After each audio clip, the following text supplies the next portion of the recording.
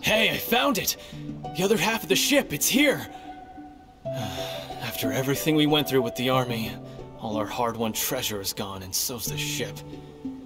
When Chief Genome finds out, we'll be in for the scolding of a lifetime. This samurai puppet is all that's left. and we're no more capable of getting out of here on our own strength than it is.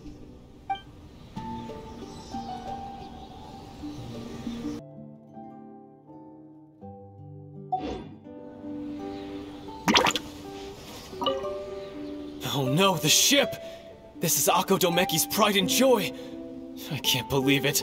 Akka only just gave us the ship, and now we're suddenly stranded here on this island in the middle of nowhere, and all our treasure's gone. We had this coming. This is our punishment. Oh, we never should have stolen that stupid puppet! Why? Why did we- Shut it! We are going to fix Captain Akko's ship. You hear? No matter what it takes.